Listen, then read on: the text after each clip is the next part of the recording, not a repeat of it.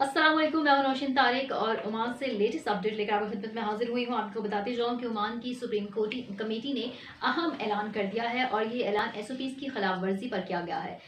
Oman की supreme committee ने कहा है कि कोरोना केसेस जो पिछले दो माह से कंट्रोल में थे, अब फिर इनमें इजाफा देखने में आया है। पिछले दिनों जो है, वो पाँच अफराद कोरोना की वजह से जान की बाजी हार गए।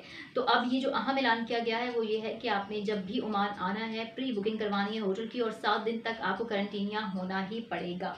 क्योंकि घर में जो है वो करंटीने की खिलाफ वर्जियाँ हो रही थी, इसलिए होटल को जो है वो उन्होंने 11 फरवरी को ये हुक्म दिया कि अब होटल में करंटीनिया होना पड़ेगा और यहाँ पर आपको जो है वो खिलाफ वर्जी करने पर जो है वो सख्त सज़ा भी दी जाएगी। यहाँ मैं आपको बताऊँ कि होटल में भी लोग करंटीने की खिलाफ वर्जी कर रहे हैं। कल ही एक शख्स को खिलाफ वर्जी करने पर गिरफ़्तार किया गया और उस पर जुर्माना भी किया गया। ये कुछ लेटेस्ट अपडेट है जो मैंने आपसे शेयर किस तरह की मजीद अपडेट आपको हमारे यूट्यूब चैनल पर मिलती रहेंगी। हमारा चैनल सब्सक्राइब करें बेलाइकन प्रेस करें, अपना बहुत ख्याल रखिएगा।